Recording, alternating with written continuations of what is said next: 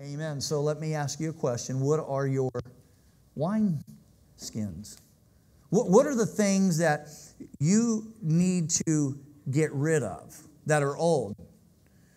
Different ways of thinking, different ways of relating. How we worked well b- together before probably isn't going to cut it after June the 9th and 10th. And so, what really holds us uh, for 2018 and if the Lord tarries 2019? What's really going to happen after all this announcement? I know a few things. You're going to hear a lot of gossip. You're going to hear a lot of people. That's the sad part. People love to gossip. People love to say things that don't make a lot of sense. And, um, you know, I think about the people aren't here today. Uh, they're missing out, I think, on a real good word from the Lord. Um, I, I, guess if, if you want to, the psychics will tell you anything. In fact, you can go to Cassadaga if you want to be stupid. I don't recommend that. You'd tick the Lord off, okay? So don't go there. You, you, you, could, you could look at all the things that, let me, let me save you time and money so you don't have to go to that. I, I, I do know this. In the fall of 2018, we're going to have new problems, new pressures and new possibilities. I believe that. I, I think there's a lot of things that are going to happen. They're going to be solely unique. And the question becomes how do we, how do we deal with those things? How do we handle new pressures, new problems, new possibilities? Well, I think one of the best ways to do it is with the right type of character. Character is very important. And, and, character determines some things. And I think there's some things in the Bible that God teaches about character in your life and my life. And I want to I want to share three things with you today that I think will help us prepare for what's getting ready to happen next week. New problems will require creativity. Will require new convictions and new possibilities will require new courage. Let's look first of all at new problems, which will require creativity. You see, the, the, the bad news is there's going to be problems in the future. You, you often hear me talk about that. I, I, I don't think that we can live a problem free life. You're either in a problem now, just coming out of one, or one's coming around the corner. That's just life. Uh, so we're going to have some problems. But what I do know is, is most of our problems aren't generally the same problems. They're always new problems. And I, I like to call problems actually opportunities. There are, there are new opportunities around the horizon. But I know who can solve all of our problems. His name is Jesus Christ. Amen. Jehovah Jireh. He's got the answer. But new problems, new opportunities require new solutions. As I said, many of the, the old ways of thinking, many of the old ways of relating, many of the old attitudes, they're just not going to work. Here's what the Bible says the Bible says this The intelligent man is always open to new ideas. The intelligent man, woman, is always open to new ideas. In fact, he looks for them. About 10 years ago, a book came out called uh, 60 Excuses for Closed Minds by Dr. Tony. I, I, I, let me share some with you. Ready for this? 60 Excuses for Closed Minds. It's a good book, still available today. We tried that before. Our place is different. It costs too much. We don't have enough time. We've never done it before. It's against company policy. That's not our problem. You're right, but we're not ready for that. We're not ready for that. We're not ready for that. We're not ready for that. We're not ready for that. We're not ready for that. We're not ready for that. It isn't in the budget. You can't teach an old dog new tricks. Let's form a committee. Let's form a committee. Let's form a committee. Let's form a committee. Let's form a committee. Let's form a committee. Let's sleep on it. It's too much trouble to change. It's impossible. We've always done it that way before. Let's not make any changes. I mean, most people spend their time and energy never dealing with problems, they, they work around it. We never try to fix things and we never try to work on new solutions. We're afraid of change. I was searching for some resource this week, and I'm no good at that. I generally don't surf on the internet. I don't like it. I've got enough commentary and 66 books to study. It's real good stuff. But I wanted to find some stuff that would kind of be humorous, and you know I do that once in a while. Not real good at it. But I was online, and I want to look for what people over 100 years old say because they're funny. At 100 years old and older, you can get by with a lot of stuff, right? And so I typed that in on the Google search. Now, I've never watched Ellen DeGeneres' show. That doesn't mean it's a good show or a bad show. It's just not my cup of tea. So I watched other stuff. But I, I, I landed when, I, when you put that in the search, hers is the very first thing comes up. And there's this lady, I didn't know that she's been talking to for like 10 or 15 years. And if you watch the show, her name is Gladys Hildy. That is one of the funniest ladies I've ever heard in my life. There's a compilation of many of her stories. Now, she's very serious. She's, when Ellen asked her questions, it just puts you in tears laughing. Like she asked her question and she said, I love Jesus, but I do have a little drink once in a while. she's at the gas station and she's putting in the card and, and, and it's not taking her credit card. And she don't have much time to live, you know. She's, she's just wanting to get out of there. She said, I don't care if you take my card or not. I just want to get out. I mean, you'd have to hear the story. She, she was asked by Ellen, do, do, do you ever seen the movie uh, Benjamin Button? And, and, and, and Gladys said, well, I've seen it before. She said, it's about this man who is real old and he becomes real young. And Ellen said, Yeah, did you like it? She said, No. She said, It takes three hours to watch it, and I'm getting older. I didn't care for it. I just thought it was funny. But I, I found one that was good. Uh, many of you are my age and older, my generation. You remember the Today Show a long time ago? They had really good stuff on. And they interviewed this guy that was 105 years old, and they asked him this question 105 year old man. I love this. This is so good if I can find it. I found it. In 105 years, I bet you've seen a lot of change. He said, Yes, and I've been against every one of them. That's like two caterpillars looking at a butterfly flying in there, and one of them says, You'll never get me up in that thing. We don't like change. We, we think it's uncomfortable. In 2018 and 2019 is going to have some challenges and some changes in store for Cornerstone. And I believe the Word of God says that we've got to continue to go and grow and develop. Attitudes are like diapers. Every once in a while, if you don't change them, it'll stink the place up. we've got to make some changes. And there's a lot of challenges ahead of us. I don't know if you've noticed this before, but when people are fighting against change, you ever notice it becomes more difficult because you end up with a bad attitude? And that's not healthy. It's not healthy in Christ. It's not healthy as a Christian. It's not healthy as a co laborer. I got to tell you something. In 2018 of the fall, there's a lot of things that we're not going to be able to control that are going to happen. You can't control the direction of the wind, but you can set your sail. Amen? Those are things that you can do. You can't control problems, but you can choose how to respond to those problems. God is a God of creativity. God is a God that wants you to be creative. And you say, Well, I'm, I'm not a creative person. Well, that's not true. You are. In fact, we were made in the image of God, and God is very creative, for He is the creator. And so we've got to start becoming creative, and we've got to start thinking out of the box. And we need to have our spiritual ears and spiritual eyes open to a church this size and what God has called us to do.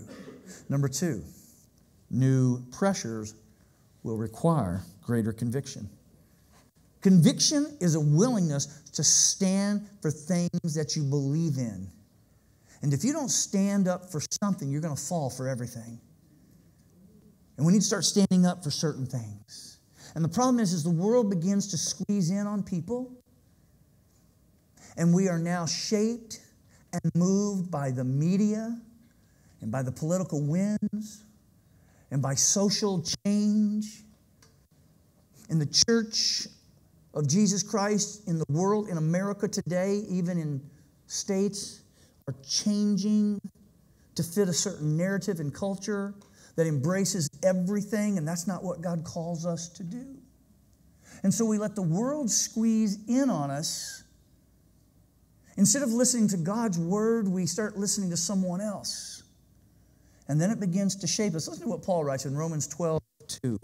Don't let the world squeeze you in its mold, but let God remake you so your whole attitude of mind is changed. Folks, there's a lot of pressures in life. There's more and more each year. The pressures like materialism. Our young people today, I, I pray for them that they're, they're affected to even question their own sexuality. They're, they're placed in positions I would have never thought could have ever happened. Where today we take certain words that We've changed, and they have a different meaning today. and our kids have got to, to deal with that. I mean, sometimes I'm confused on what bathroom I'm supposed to go into. It, it blows me. I want, listen, when I go to the bathroom, I want to go to the men's bathroom. How about you? Sorry, I just do. Okay? I, I, uh, girls are good. Amen, you girls. I saw some girls back there going, I don't. I get that. I, I want to I wanna go to a Boy Scout meeting where there's Boy Scouts. I, want to I wanna go have a cup of coffee and feel secure where I'm having a cup of coffee and not. I just think we're letting the world squeeze us in, and, and, and the Lord says, don't let the world squeeze you and shape you. And so, what we need is men and women and boys and girls who are hearing the clarion call of what Jesus has called us to do. That's why our mission statement, our vision is win the lost, disciple the one, and care for the community. Because it's all about relationship. Jesus gives us, you and me, if you're in Christ Jesus, you are called to let your light shine and to tell other people about Jesus Christ. You just don't leave that to the pastor or the teaching staff or the eldership. Each and every single person needs to be a witness. And you and I are going to be held accountable for that. And so we've got to be very clear about what we're saying and what we're doing. And that's going to take some strength. And the question is, is where do you get your strength from? Well, the Word of God says in Isaiah 40, verse 31, those who trust in the Lord for help will find their strength and it will be renewed. Psalms 19, 7 says, God's Word gives new strength.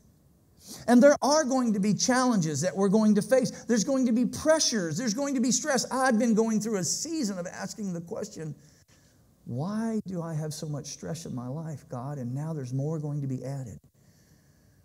Why, why does that, why does it happen? Why do you put me in that position? And why do I put myself in that position? Paul answers that question so clearly in 2 Corinthians. Listen to what he writes 2 Corinthians chapter 1, verse 8 and 9. This is Paul, to me, probably outside of Jesus Christ, the greatest Christian that ever lived. He says this We were under great pressures, far beyond our ability to endure, so that we despaired even of life. But this happened so that we might not rely on ourselves, but God. That's conviction.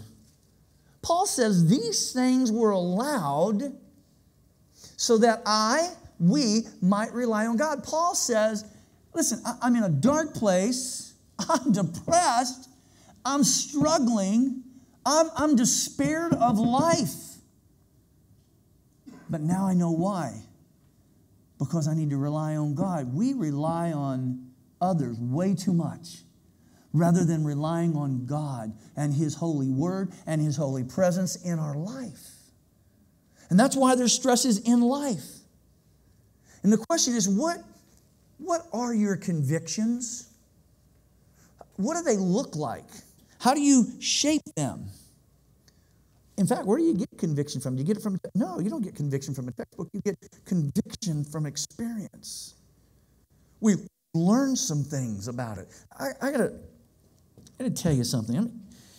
and I want you to hear me. If you're in Christ Jesus, and this is so important for you to understand, and it may bother some of you, but I've said this a thousand times. If you came here for pixie dust, you need to go to Disney because you're not going to get it here. You don't come to church to get your toes tickled. You come to church to allow the word of Jesus Christ, God's holy word, to pierce the heart. If you're in Christ Jesus, you are not going to stand before him, stand before him and have to deal with your sins. They were covered at the cross. The blood of Jesus Christ covers if you're in Christ Jesus. But if you are in Christ Jesus, and it amazes me the one thing that many miss out on today is you're going to stand before God and you're going to have a trifecta. And you will give an account. I will give an account for my time, my talent, and my treasure. You will not escape that. And if that is true, and it is true, and it's in God's word, that ought to awaken you quickly. You are dealing with a holy God, and if it were not for Christ Jesus, his wrath would vaporize us right now. But you will not escape that day when he said, What did you do with my son and for my son? What did you do with your time, your talent, and your treasure? I think about that so much and how many years I wasted. And sometimes I even question myself Have I given you the right time today? Am I using my talent? I certainly understand the treasure concept. It's too biblical, it's too easy. That requires strength, that requires conviction. That requires saying, you know, just having a badge out here saying, I'm a Christian, doesn't mean anything, folks. It's in here, and it's what God sees, not what Kevin sees. Remember, Jesus is teaching this story, this parable. You got these old ways of thinking, they've got to stop. You can't take new wine and put it in old wineskins. New pressures will certainly cause greater conviction, but here's the last one new possibilities will require greater courage. I think the fall of 2018 and beyond, if the Lord tarries, is going to be the greatest time ever for Cornerstone. I think it's in all my years that I've been here, I've never been in a position or ever felt there was a greater clarion call than the one that we got that we're announcing to you in all of our services on this campus throughout the week of hundreds of people that we see. And it's going to require some courage. And there are going to be some great possibilities. And I think God wants to do some great things in your life and in my life. I, I know this God's not through with you if you will allow Him to use you. God wants to use you. You were created for a purpose and for God's good pleasure. And I think that we have to ask the question God, what you've given me, the talent, the gift, those things in my life, tell me, show me how I should use those things. It's not going to happen automatically. You have to be willing. What's crazy? It's free will, and you get to decide. You get to decide your eternal fate. How about that? Everything's a choice. But God's word is so clear. If we go all the way back to the Old Testament, that's the stiff part of your Bible, those pages. There's a prophet. He was a farmer too. His name was Hosea. What a great study. Can't wait to preach that one day, his life. You might want to turn over there to the book of Hosea, chapter 10, verse 12. Listen to what the prophet says. The Holy Spirit is speaking through him. These are God's words. And he says this Plow new ground for yourselves, plant righteousness, and reap the blessing your devotion to me will produce. This is God talking to you today. It's time for you to turn to me, your Lord, and I will come and pour out blessings on you. Woo! Notice the verbs in there. You might want to underline them or highlight them plow, plant, and reap. What you sow is what you reap. And if you want your life to count for anything, and for those that are really saying, okay, Lord, I'm, I'm, I'm, I'm asking you now, Lord, I want to be used for your glory. Whatever that might be, whether it's one minute, one hour, two hours, 10 hours, whatever it is, God, I'm ready to plant, I'm ready to plow, and I'm ready to reap. God's word does not lie, it does not come, come back void. If you're in the New King James, it says fallow ground. In other words, that ground which is hard needs to be plowed up and it needs to be fertilized.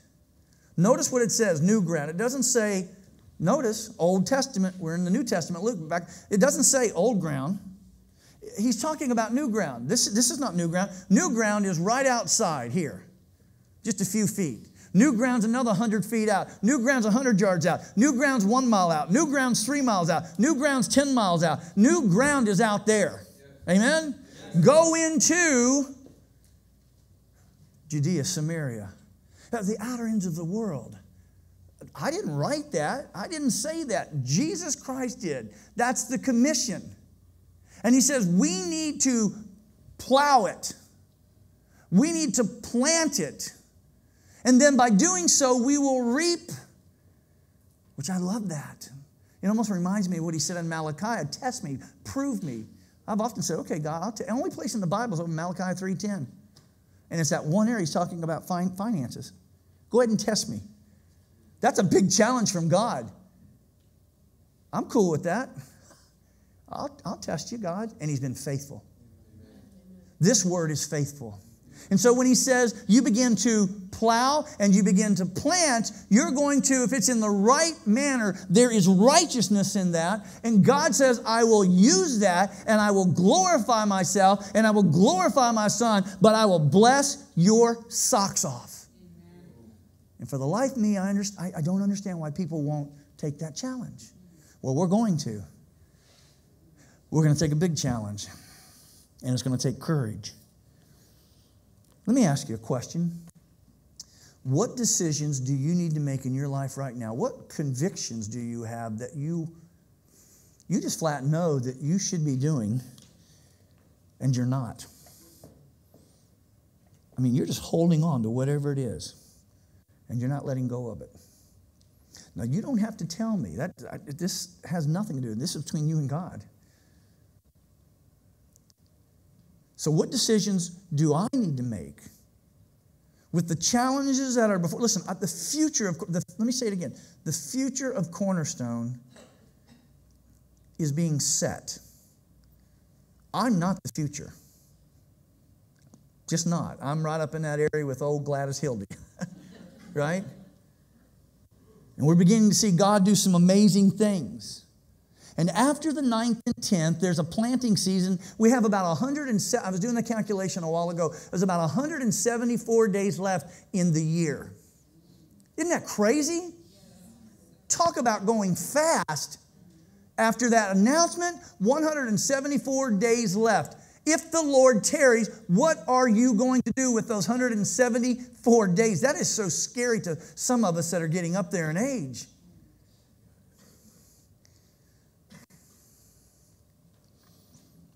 I think it's time for some of you to start cultivating and quit complaining. I, I am so over. I love you. You know that. But, but some who just.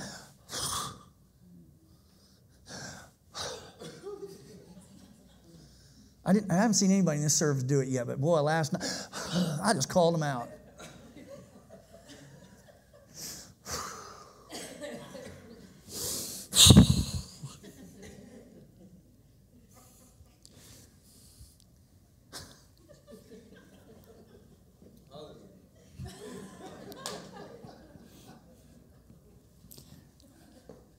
Plow new ground.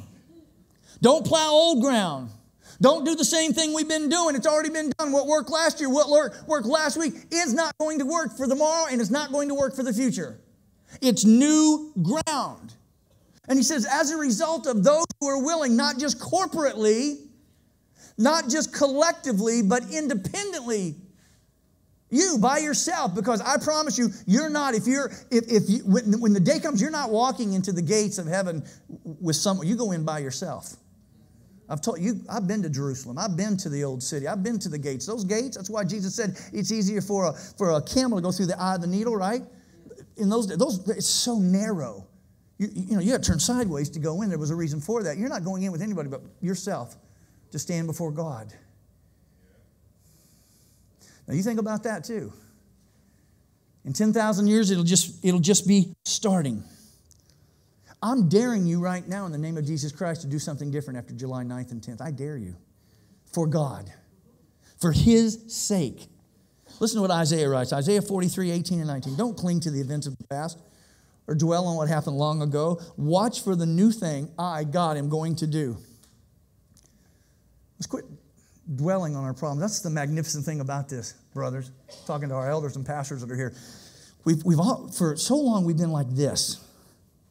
So long. And all of a sudden, you know, we can't explain what happened, how it happened, but we know it happened, so we know it's of God. That's a fact. And all of a sudden, the blinders were taken off. And I went, oh my gosh. I mean, we were all just like, right? edit that. Um, can you imagine when Jesus was with his disciples and he said, Here's what I want you to do, here's where I want you to go. And they went, No, I can't imagine that. What's crazy is, is that if you've confessed Christ, Matthew 10, 33 and 34, if you've made the decision to follow Jesus Christ, Matthew 28, we just go through the list of scripture after scripture after scripture after scripture. He's, he directs your life, I hope. He tells us where to go. And, and, and we should not be afraid of that, for He goes with us. Oh, I wish I could tell you. I can't.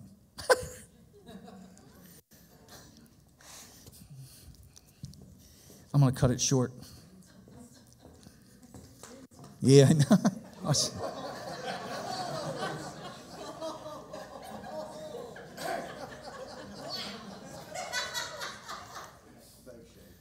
Wow.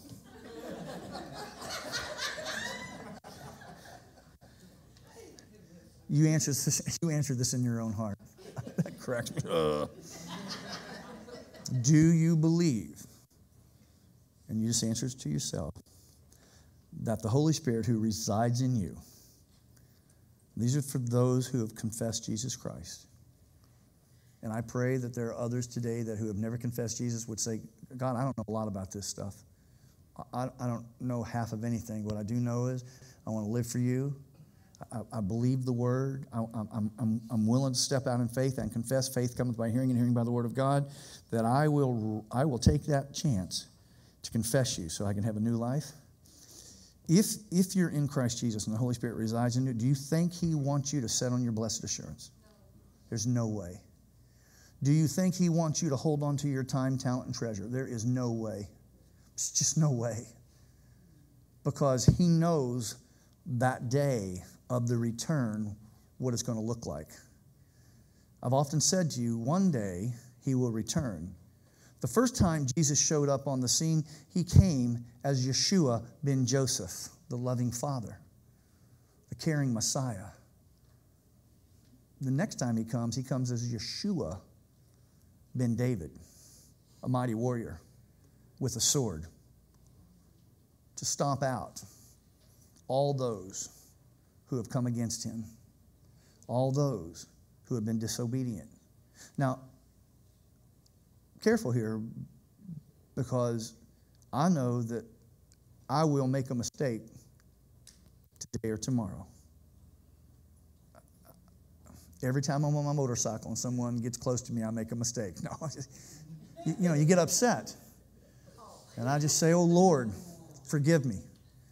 I mean, we're all challenged with stuff. I, what I'm saying, I, because He lives in me, because I'm covered by the blood, I have hope. I have assurance. I, I know that I'm covered in the blood of Jesus Christ. Man, if you're outside of Jesus Christ, you are playing dangerously. Oh, Lord, you're playing dangerously.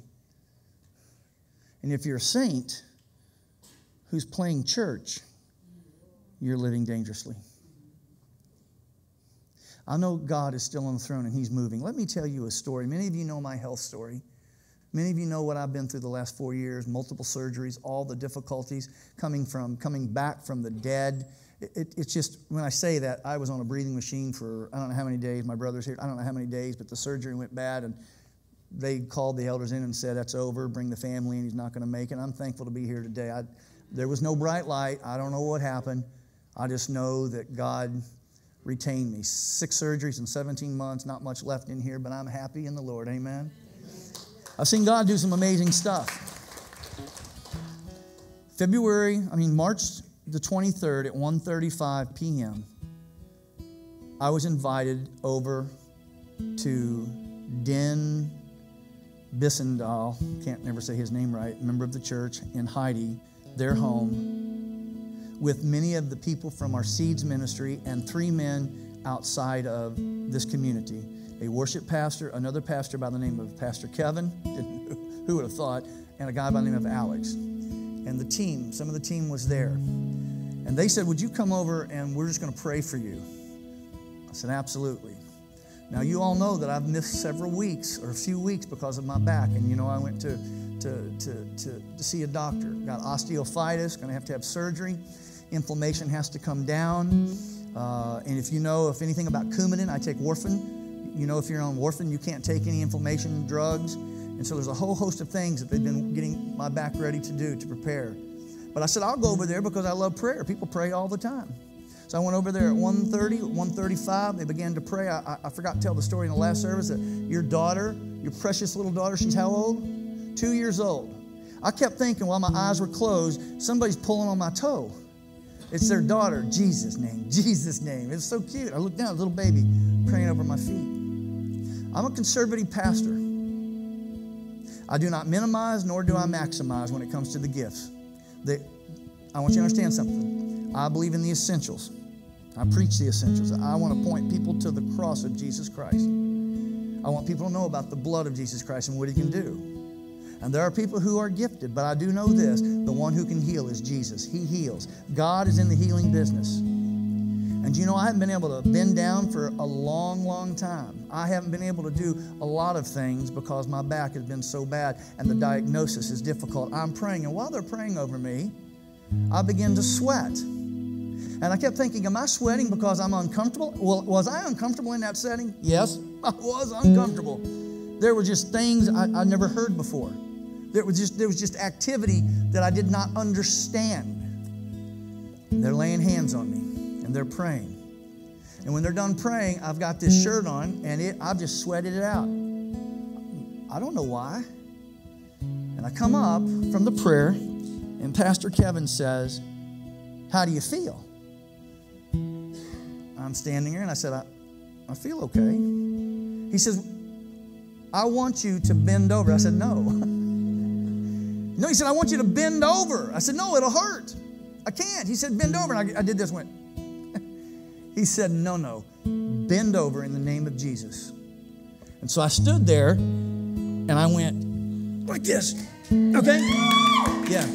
I, I just went down like that. I thought, this is this is nuts. Now wait. Then he said, I want you to twist. I said, I'm not twisting. Because you know, if you twist, it hurts, particularly if you've got osteophytes. So I said, I'm not, I'm not going to twist. He said, I want you to twist. I said, I'll tell you what, I'll do a little twist. Now, I'm not going to do the twist that I twisted with them, it'd be silly, but I twisted a little bit I didn't hurt. Then he said, I want you to run. I said, I'm not going to run at all, which I didn't. He said, Do you feel anything? I said, No. I'm overwhelmed by this. I'm overwhelmed by what God's just done. I, I, don't, I don't understand it. Went outside. They followed me outside. Your, your prayer team all stayed inside. Dan and Heidi followed me outside. And I said, I feel, I feel so guilty, so unworthy because I'm questioning what's just happened. I don't get it. I, I don't get it.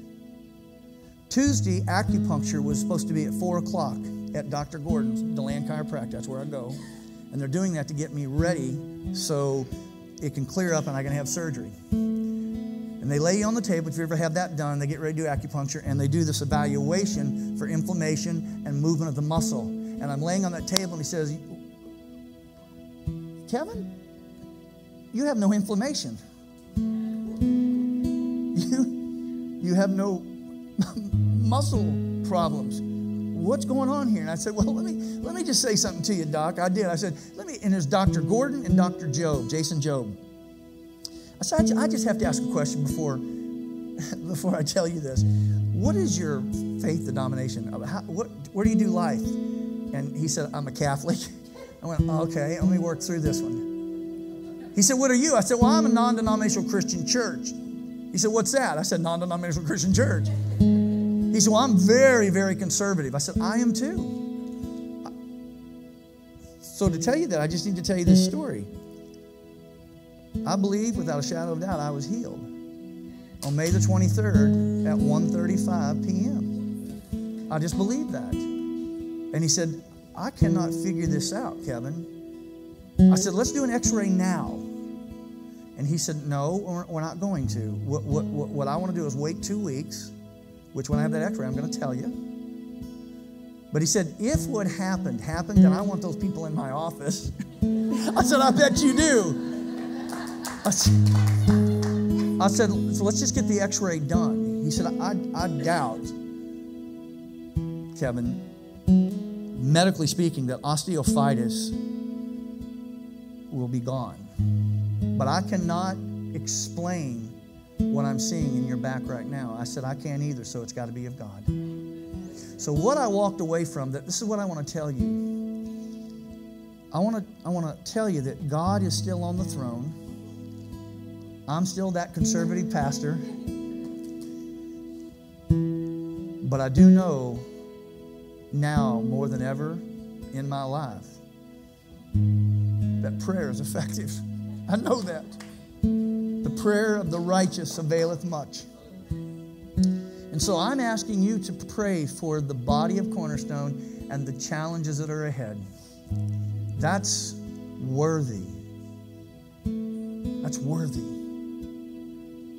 It's what we sang about today.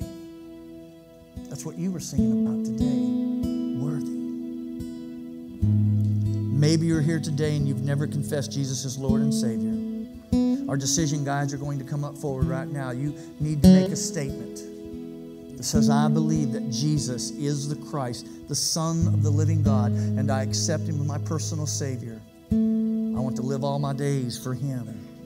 The Word of God in Matthew 10 33, 34 says, If you confess me in this generation, I will confess you in the next. But if you will not confess me in this generation, I will not confess you before my Father in the next. That means if you're ashamed of me here, I will be ashamed of you here. Don't mess up something. It's not complicated. It's, we're not saved by works. But there is a, an action step you need to take. And I'll tell you what, God is so loving and so forgiving. Whatever you think you've done wrong, whoever you think you've been, whatever you think, that's the devil messing you up. You don't need me. Just go to Jesus right now. If you're a saint, you feel like you've gone down a rocky road, just say, Lord, I just ask you in the name of Jesus, by the blood of Jesus Christ, I just ask you to forgive my sins. Let me tell you what, it's done. Boom, done. Don't hang on to it. Celebrate what God does for us.